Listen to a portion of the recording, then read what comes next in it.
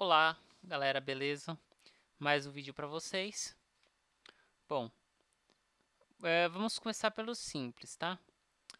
Se você observar aqui, ó, vai dar um número negativo.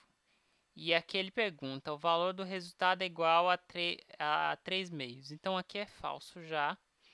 Raiz de 9 é igual a 3, então isso aqui vai ser igual a 3 quartos, mais 0 continua sendo 3 quartos, é diferente de 3 meios, então aqui também é falso.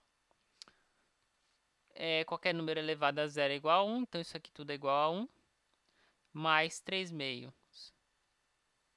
Tá na cara que não vai dar o valor que a gente quer, porque 1 é, vai dar meio aqui, como MMC, dividido por 2, ou 2 dividido por 1 vai dar 2 vezes 1, 2, mais 3, isso aqui é igual a 5 meios.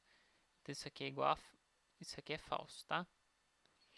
E aí você já descobre que só pode ser a número 1 e a número 2. Mas se você quiser fazer as contas, você vai ter o seguinte. Isso aqui vai ser igual a meio, mais é, 2 sobre 2, tá? Tô transformando isso aqui em forma de fração.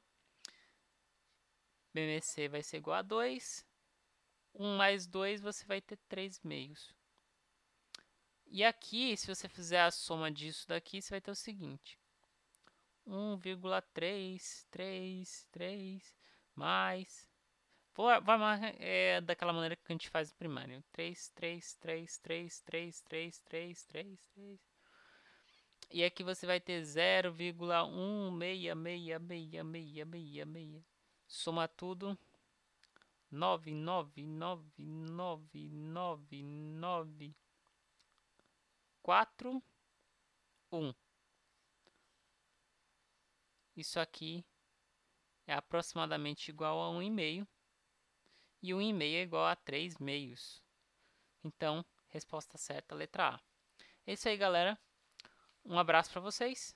Curta o vídeo aqui embaixo. Inscreva-se no canal também aqui e compartilhe o vídeo. Até a próxima!